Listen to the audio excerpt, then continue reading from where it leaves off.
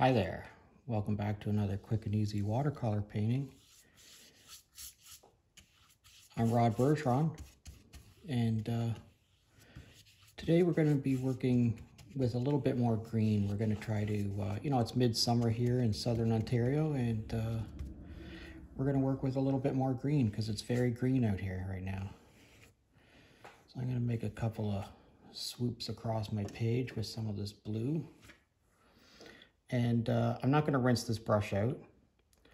I'm going to take this brush and I'm going to put it into my green wash and pick up as much of that as I possibly can.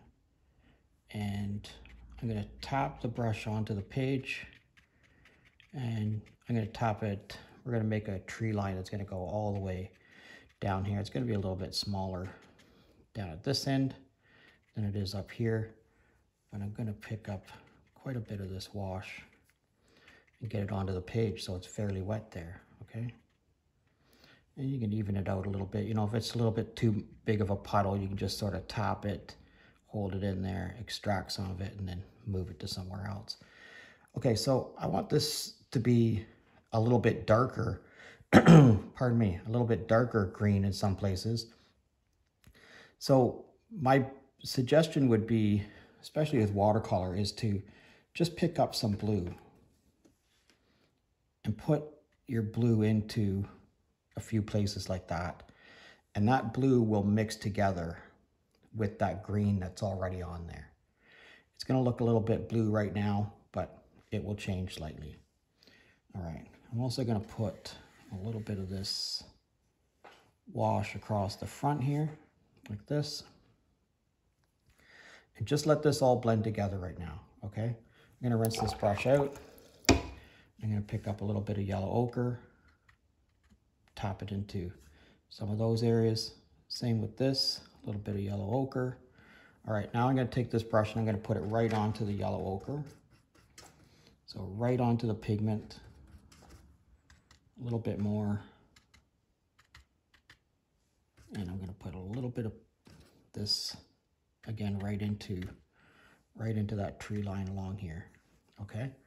I'm going to pick up my number one round watercolor brush and I've sharpened one end of it here and I'm going to scribe out of some of these very wet yellow ochre areas.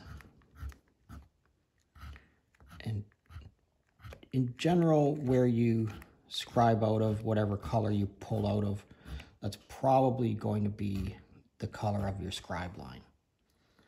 Okay, so you can probably bet that these scribe lines, when they dry, are going to be that yellow ochre kind of color. Okay. All right, so this is all going pretty good here, and our skies turned out not too bad there. Now I'm going to take this brush and I'm going to put it into my sienna. Have a little bit of sienna wash here. I'm going to pick up a little bit more. And I'm going to drop some of this sienna into a few places. Again, I'm going to do that same thing along here. And I'm going to scribe out of some of these sienna lines. Same down here, scribe out of some of your sienna lines. All right, that's turned out not too bad there. But I would say when I look at this that there's not enough dark on the page in this particular painting. So I'm not going to rinse my brush out. I'm going to pick up some of this Payne's Gray and I'm going to touch my Payne's Gray to a few places along there. And you'll see how that's already started to balance that painting out a little bit just by adding that little bit of Payne's Gray in a few places. Put a little bit more darkness in there maybe. And, you know, maybe I'll scribe out of a few of these places also. All right, that's turned out pretty neat right there. All right, so we have to fill in this area right here. And to do that, I'm going to use yellow ochre uh, because where I am, a lot of the uh, grasses have started to die and we're getting this very burnt grass kind of look. So I have loaded this brush with as much yellow ochre as I possibly can.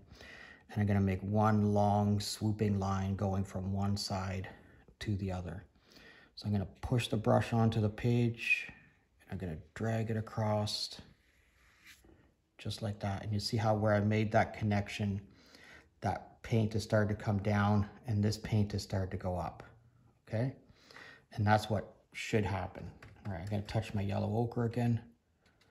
A few more places like that. I'm actually gonna put a little bit more yellow ochre up in here too. I love how that, that uh, sienna has started to give a really good complement to those greens that are around it. I'm going to grab my scribing tool.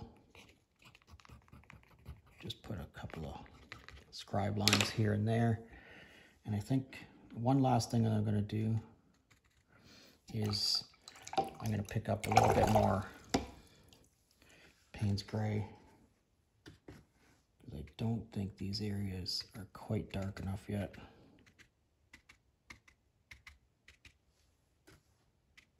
Just tap that on there.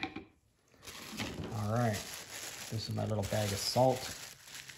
And I'm just gonna put a few grains of salt in the top of some of those trees and bushes along there.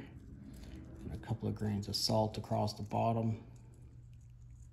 Maybe in there. And that's it. Okay. All right, let's let this dry one dry and see what we see what we get.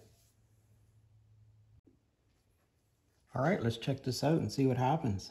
Look at this uh, Payne's Gray that I dropped back in here. This was very late, but that was a really good decision. You can see how it really makes, there's a great contrast between the light areas and the dark areas. There's not too much dark, there's not too much light, but it seems to be really well balanced. And my tape is coming off there. You can also see where I've dropped this yellow ochre in uh, very late into the wash and let it all mix together. But look at how this created, this is the, from the salt. Look how this salt created these trees for us and these effects, these little bushes and everything. And, uh, you know, we didn't have to do too much work for that. So, you know, that's, yeah, and that one turned out pretty cool, I think. Yeah, I'd love to know what you think of it. I'd love to know where you're from too. If you're currently a subscriber, thanks a lot. And if you're not currently a subscriber, please consider subscribing to my YouTube channel. I really appreciate it. Uh, I'd love to know uh, what kind of painting you'd like to see me do or what it is you'd like to see me create. So if you have any questions or comments, please drop them in the comments section. And uh, yeah, thanks a lot for watching. I should also say that all of the materials and supplies that I use are all listed in the description of the video. And there's YouTube links. I shouldn't say YouTube links. There's Amazon links to all those materials. All right, thanks a lot for watching. We'll see you again next time. Should probably sign this one. This one's not too bad, so put my little RB on there. All